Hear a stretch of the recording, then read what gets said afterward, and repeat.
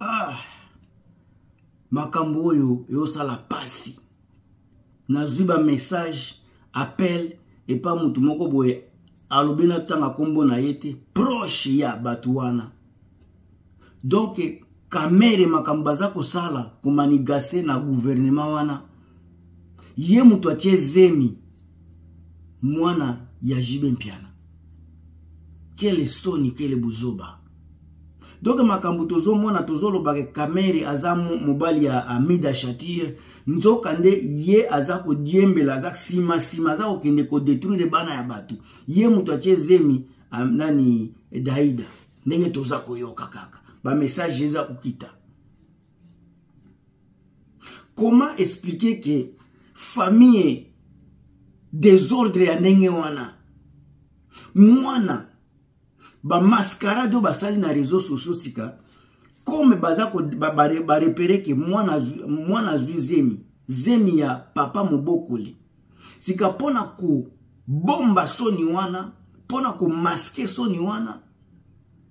baza kokosela mutu ya bato jeune wana il paraît il se pourrait que baza kokosela ye zemi mpo na kotia kimia donc garçon wana azalaki aza na ye marie c'est vrai mais sika mpo aza na kati ya circuit wana baza kokosela ye zemi c'est comme si basalaki moyen nyonso abima na nani na nani na daida mpo esala neti ye mutu atie zemi me zemi eza ya, ya kamere ndenge tozoyoka eloko ezolekela nga donk mpo na politiki bino moko bino moko boyebi makambo ya politiki ndenge etambolaka donk il faut komaîtriser situation il ne faut pas situation ebima libanda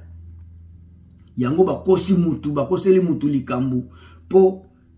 akende kondima zemi aboya, aboya mwasi na ye kondisio kondima zemi wana sika baza kopesa ye pouvoir monene na kati ya guvernema wana pouvoir monene can you imagine imaginez vous seulement na niveau congo moto aza ministre aza, aza kokamba finance ozokamba soki ekonomi ya mboka dega osali dega ya monene mpona kokanga mpona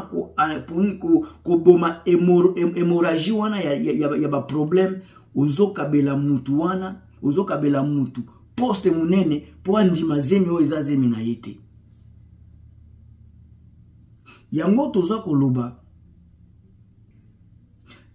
l'aigle euh, l'oiseau ne peut jamais avoir euh, ne, peut, ne peut jamais donner que l'oiseau l'animal donne que l'animal sika soki makambo eza kokóma na niveau ke mwana akende kolala na vital camere ebandaki ndenge nini mwana wana ayebi bien ke wana papa mobali ya mama na ngai soki eza vraiment ya solo oyebi ke wana mobali ya mama na nga donc c'est mon père euh, nourricier père adoptif oyebi yango bien me ondimi kolala na ye ti na niveau ya kozwa zemi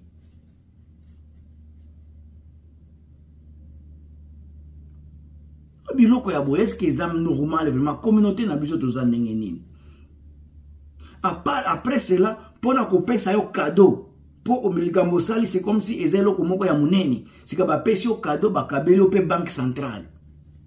banque centrale motu wana mobali oyo bakoseli zemi akogere banque centrale ya congo donk bino yo na mama na yo selo ndenge tozoyoka e soki eza ya solo donk yo na mama na yo yo daida piana na mama na yo amida shatir plan na bino bojere kaka baplace mbongo ya kongo eza oza pre ya kolongola bilamba ya kolala na nimporte ki mpo na kogere place wana soki eza ya solo ndenge tozoyoka biso toza bakombata ya kongo fo toza kodefendre mboka na biso toyoki ba émission eza kotambola ebele ebele na réseaux sociaux eza na bamisusu baza koloba zemi ya motu wana bamisusu zemi ya kamere baza komaske nga mpe nauti kozwa bato ya kobengabenga wana bato baza koconfirme ke eza zemi ya kamere me baza komaske nde na nkombo ya motu wana nayebi te soki eza ya solo me napesi motu oyo atindeli nga message tosololaki na ye napesi ye benefice ya doute yango sika mama amida shatir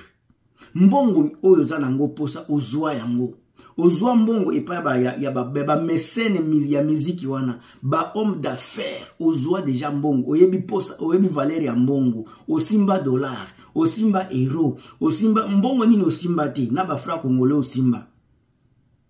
bapesi olongwe mpe epai bahomme d'affaire okoki kozwa ntina mutu na baministre ozwi bavice président ya mboka mbongo nyonso wana mpo na yo ezokoka te ozwi kaka apart sa obendi bana na yo kuna ozwi bana bana ya mikolo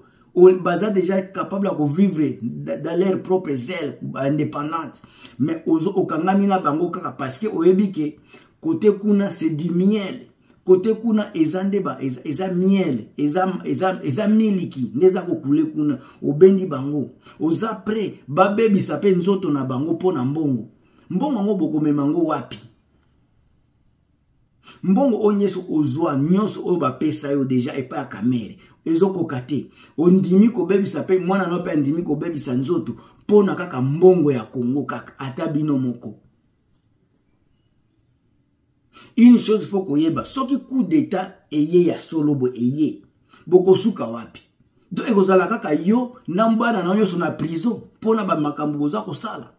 ezalaka ata motu moko asalaka sacrifice ngai nakokota prison bino bokovivre me sika yo ozondima okota prison bana no mpe bakokota prison kaka parce que ce n'est pas ce n'est pas possible que yo ozala en place ya mbongo mwana no pe azala place ya mbongo c'est que ya clique quelque chose qui ne va pas na Congo bato batanga baza te na Congo basi ya kitoko baza te kaka bino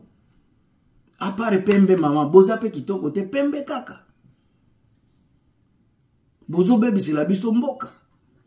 na niveau ya na, na bato baza kokamba mboka mpena na niveau ya bato ya guvernema nde soni ya boye soni ya boye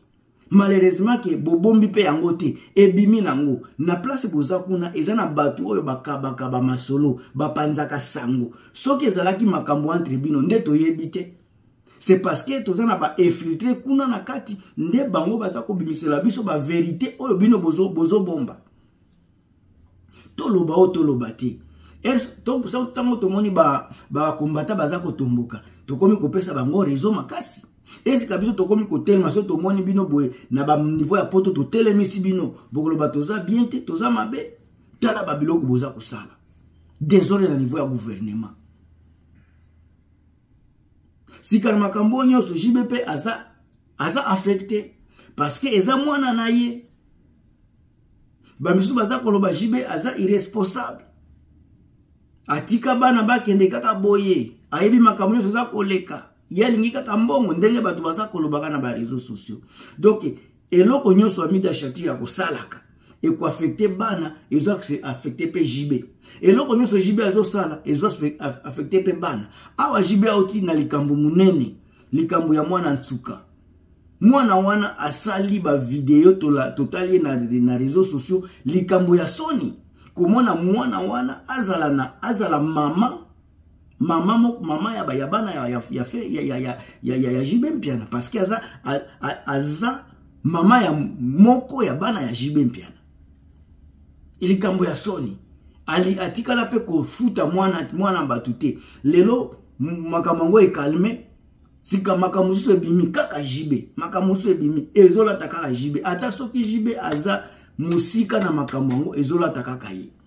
pourquoi parce que boza na lokoso bolingi mbongo bolingi mbongo mingi mama amida bolingi mbongo bopesa bato mosusu chance mbongo boza, boza nango bozwa eza na bato bazwa bambongo babemba saulona bazwa mbongo batika bakolo shaber babanda batika bino mpe boza wana kaka bokotika yango tika boza kosambwisa nzoto kaka mpo na mbongo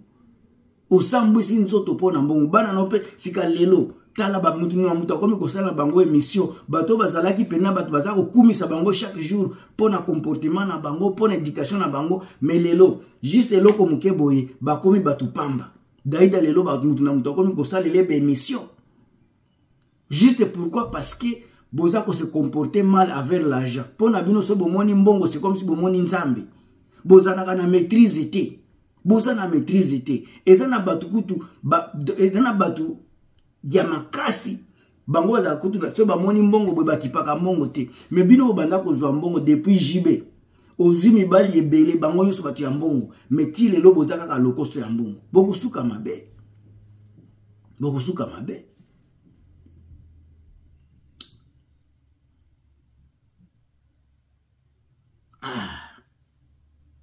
oyo eza makambo ya vie privée moyen akota na kati eza te mais atake patriote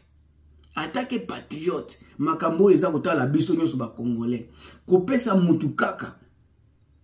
banke centrale ya congo epai ya moto oyo boyebi te soki aza na maîtrise ya, ya, ya na finance soki aza na maîtrise na économie akosala makambo wana ndenge nini akosala yango na ndenge ya desordre boye eye baza kopesa moto lokola kamere baministre de finance azalaki nango nini lelo bapesi ye akomi soki na assemblée nationale biloko wana nyonso badesordre ya boye wana nde place ye ayebi quand même wana tokopesa ye raison ayebi mais mpo atiki makambo ya finance ye akomi na makambo ya assemblée nationale yango aza koluka motu oyo akokende toujours kuna kogere mbongo nyonso ezokende kaka nzela moko ata so tolingi kolukisa kote oyo tolukangisi mpe bakote kuna bomoni makambo nyonso eza kokangama atiki makambo ya finance ake na assemblée nationale mazwi motu oyo akokende kogere banque centrale juste mpona lokoso ya mbongo kaka ah gilmas